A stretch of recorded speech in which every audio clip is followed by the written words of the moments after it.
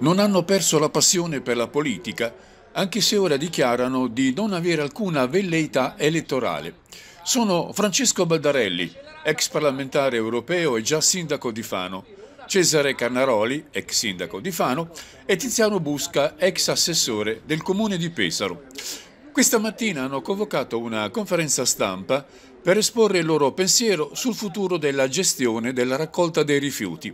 in modo particolare rispetto alla rinuncia di realizzare una nuova discarica sul sito di Riceci, oggetto di una vera e propria rivoluzione da parte della popolazione residente.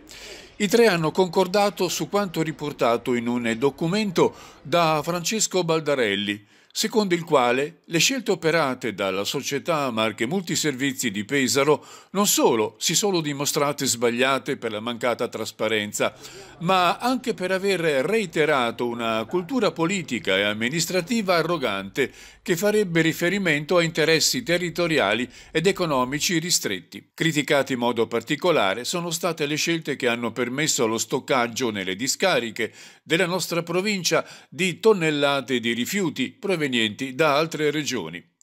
La gestione dei rifiuti deve rimanere saldamente in mano pubblica, è stato detto, in modo che le tariffe e il rispetto dell'ambiente siano decise dal pubblico. Qual è dunque la soluzione? Secondo Busca, Baldarelli e Carnaroli, bisognerebbe creare una società di scopo tra ASET e Marche Multiservizi che in sintonia con la Regione valorizzi il polo di Monte Schiantello, una discarica che oggi sta causando non pochi problemi, soprattutto ai residenti di San Costanzo, vuoi per il cattivo odore, vuoi per il sospetto di emissioni nocive. Qual è la vostra proposta? Ma la nostra proposta è che in questo momento così drammatico diciamo, per la vicenda rifiuti, ma non solo, io ho accennato anche per il problema idrico dell'acqua,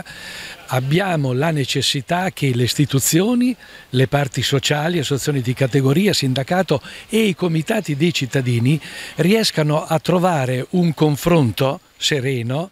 per trovare il bandolo di questa matassa estremamente difficile e delicato. Prima di qualsiasi scelta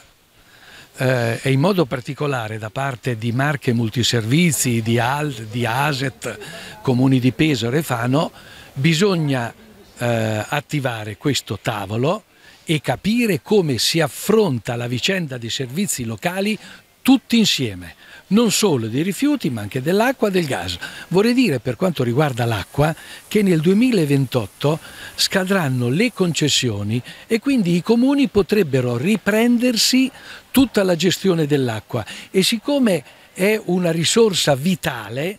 noi pensiamo che in questo momento sia utile che i comuni, riprendendosi la gestione diretta dell'acqua, possano costruire, costituire un consorzio e gestirla anche direttamente. E a proposito del confronto con le popolazioni, questa mattina sono intervenuti anche diversi residenti di San Costanzo, i quali hanno così evidenziato non pochi problemi causati dalla discarica di Monte Schiantello nel loro comune. Ma eh, questo che è comprensibile, si capisce, è proprio perché forse nel corso di questi anni non sono stati fatti gli investimenti necessari per eliminare tutta una serie di inconvenienti.